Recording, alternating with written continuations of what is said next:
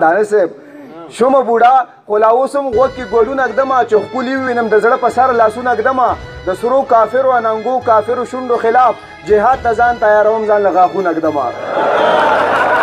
د روغاني بابا بیا بیا بیا به بل ویو دوباره خیر دی دا شومه بوډا خو لا اوس هم غوږ کې ګلونه ږدمه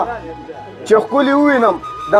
زړه په سر لاسونه ږدمه د سرو کافرو اننګو کافرو شونډو خلاف جهاد ته ځان تیاروم ځان له غاښونه ږدمه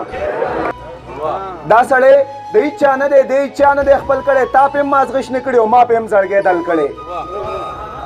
فیص زندگی د حساب سوال دی اخیری جواب یې یو دی زندگی د حساب سوال دی اخیری جواب یو دی تا په خپل کاغذ حل کړی او ما په خپل کاغذ حل کړی مننه مننه مننه زندگی د حساب سوال دی اخیری جواب یو دی تا په خپل کاغذ حل کړی او ما په خپل کاغذ حل کړی مننه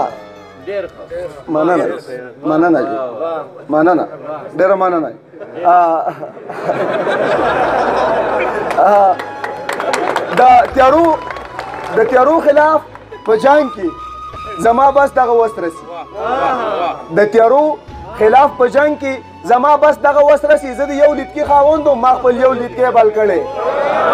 مننه مننه د تیارو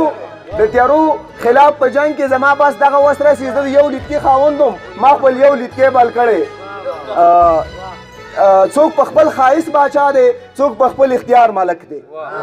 څوک په خپل ښایست باچا دی څوک په خپل اختیار ملک دی چا پټکی لول کړی او چا وربل لول کړی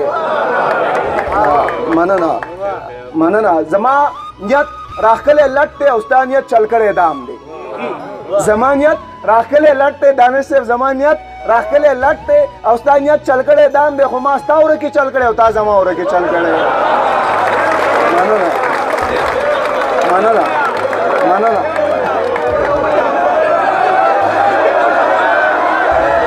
زما نیت زما نیت راخکلې لټ ته او ستا نیت چل کړی دام دی خو ما ستا وره کې چل کړی او تا زما وره کې چل کړی دا